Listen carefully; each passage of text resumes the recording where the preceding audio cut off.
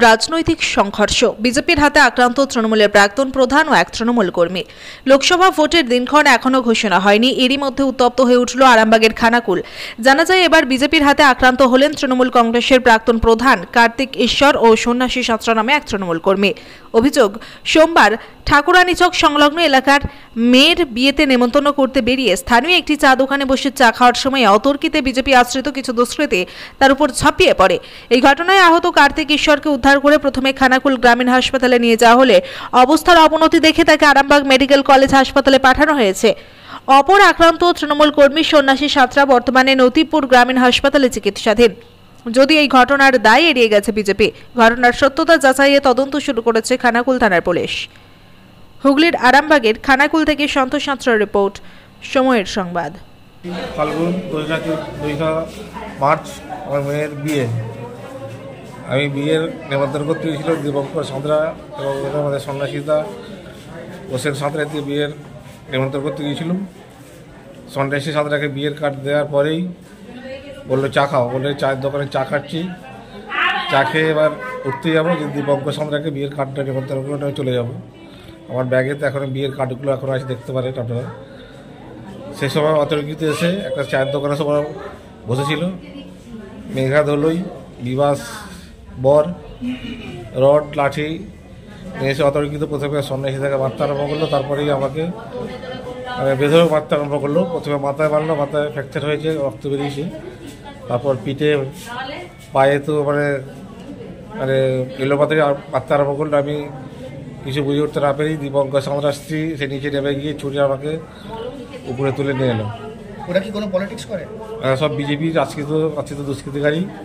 এবং সঙ্গে আরও ছিল অনেকেই। মাধাই সাঁতরা ছিল, কানাই সর্দার ছিল। লাস্টে কানাই সর্দার গিয়ে ওদের দুজনকে আবার তাড়িয়ে দেয়। আগে মারপিটটা লাগিয়ে দিয়ে তারপর যখন দেখছে যে অবস্থা বেগতি, হয়তো মারার হয়ে যেতে পারে, তখন ছুটে গিয়ে ওদেরকে সরিয়ে দেয়। তারপর আরও দশ বারো জন লাঠি নিয়ে দোকানের মধ্যে থেকে ফিরে আসছিল আমি কোনো রকম প্রাণের ভয়ে দীপঙ্কর সম্রাট বাড়িতে উঠে যাই। ওনার স্ত্রী আমার হাত ধরে কোনো রকমে নিয়ে গিয়ে বরফ টরফ দেওয়া শুরু করে। কেন কেন মারলো জানি না কেন মারলো। আমি তো পঞ্চায়েত ইলেকশনে দাঁড়াই না এবারে এক্স মেম্বার এখন বিজেপি চেঙ্গা পঞ্চায়েতে পায়ের তলায় বাড়ি সরে গেছে। ওদের কোনো মানুষ ওদের পক্ষে নেই। যদিও পঞ্চায়েত হয়েছে রিগিং করে ছাপ্পা মেরে কিন্তু ওরা ভোটে জিতেছিল। কিন্তু মানুষ ওদের পক্ষে নেই। মমতা বন্দ্যোপাধ্যায়ের যে উন্নয়নমূলক এবারে যে লক্ষ্মী ভান্ডার পাঁচশো থেকে হাজার টাকা দিয়েছে এবং তাদের বাড়ির মেয়েরা পর্যন্ত তার দিয়ে সহ্য করতে পারে না। আপনি কি তৃণমূল করেন বলে আমি তৃণমূল করি এবং তৃণমূলের সক্রিয় কর্মী। আমি দশ বছরের আমি প্রধান ছিলাম। সেই জন্যই কি মারধর করল? সেই জন্য মারধর করল এবং যারা মারধর করেছে তারা কিন্তু প্রত্যেকেই কিন্তু তৃণমূলের মমতা বন্দ্যোপাধ্যায়ের পরিষেবা কিন্তু পেয়ে থাকে। এবং ওরা পঞ্চায়েত আসার পর কোনো উন্নয়নমূলক কোনো কিছু কাজ করতে পারে না। শুধু চুরি, ডাকাতি, চুল্লু ঠেক তৈরি করেছে চব্বিশপুরের বাজারে। সেখান থেকে চুল্লু বিক্রি করে ওই চুল্লু খাচ্ছে আর ওই মানুষকে মানে আক্রমণ করছে এবং তোলা তুলছে। এবং বলপাড়া একটা গাঁজার ঠেক আছে। সেই গাঁজার ঠেক থেকে গাঁজা খেয়ে রাতের অন্ধকারে বম্বিং করেছে এবং গতকালকেও আমাদের চব্বিশপুর বাজারে আমাদের ব্লক সভাপতি গিয়েছিলেন, রাজাদা গিয়েছিলেন মিটিং করতে। তারপরেই যারা গিয়েছিল তাদের বাড়ি বাড়িতে গিয়ে হুমকি এবং রাত্রে বম্বিং শুরু করে। এই নিয়ে কি অভিযোগ করেছেন? আমি তো এই চিকিৎসাধীন আছি নিশ্চয়ই আমি অভিযোগ করব থানাতে কমপ্লেন করব। থানার ফোর্স গেছে এবং ফাঁড়ি থেকে ফোর্স গেছে আমাকে উদ্ধার করে নিয়ে এখন খানাকুল গ্রামীণ হাসপাতালে আমি এখন চিকিৎসাধীন আছি। এবং এখান থেকে রেফার করে আরামবাগ আমাকে পাঠানো হবে। পা একটা ডান পাটা মোটা ভেঙেছে আপনার নাম? আমার নাম কার্তিক ঈশ্বর। ঠিক আছে দেখুন বিজেপি তো ভয় লেগে গেছে কারণ আমাদের এই দিদিমণি মাননীয় মুখ্যমন্ত্রী আমাদের জননেত্রী এই যে জব কার্ডের টাকা কেন্দ্র সরকার আটকে রেখেছে, তারপরেও দেওয়ার পরে এদের যে মানে আমাদের রাজ্য সরকার দিয়ে দিচ্ছে, এতে বিজেপির যারা হারমাত আছে, তাদের ঘুম ছুটে গেছে। কার্তিকদার মেয়ের বিয়ে, আমরা কালকেই ওই জিপিতে মিটিং করে আসছি। মেয়ের বিয়েতে নেমন্তন্ন করতে বেরিয়েছে, আমি সকালেই ফোনে আমার সাথে কথা হয়েছে, যে আপনাদের ওখানে একশো দিনের যে জব কার্ডের যারা টাকা পায়নি ক্যাম্প করতে হবে। বলল, আমি মেয়ের বিয়ে ব্যস্ত আছি, আমি এসে বিকেলে বসবো।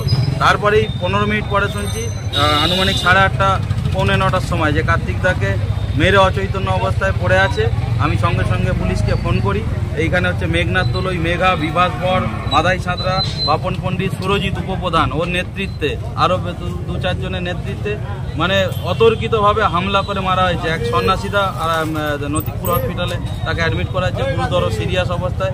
কার্তিক তাকে এখানে ভর্তি করানো ছিল এখান থেকে রেফার করেছে আরামবাগে। আমরা পুরো ব্যাপারটার উপর নজর রাখছি। আর আমরা এই যাতে দোষীরা অতি সত্ত্বর সাজা পায়। তার জন্য আমরা এই বৃহত্তর আন্দোলনে যাব। ঘটনা কোথায় ঘটেছে? ঘটনা ঘটেছে চিংড়া ঠাকুরানি চকে। মেয়ের বিয়ের নেমন্তন্ন করতে যাচ্ছে। বিজেপি তো বলছে জনরোষে হয়েছে। বিজেপি তো বলবে যারা মারছে তারা প্রত্যক্ষদর্শী যারা দেখছে যে প্রধান উপপ্রধান মারছে জনরস কোথায়? উপপ্রধান সরকারি পদে বা সবাই তাকে চেনে। বিজেপি অনেক কথা বলবে মিথ্যের আশ্রয় নিয়ে অনেক কিছু বলে। কেন জব কার্ডের টাকা দিচ্ছে না? এটা জনরস নয়। জনরস থামানোর জন্য যাতে এইটাকে ভয়েতে কেউ না যায়।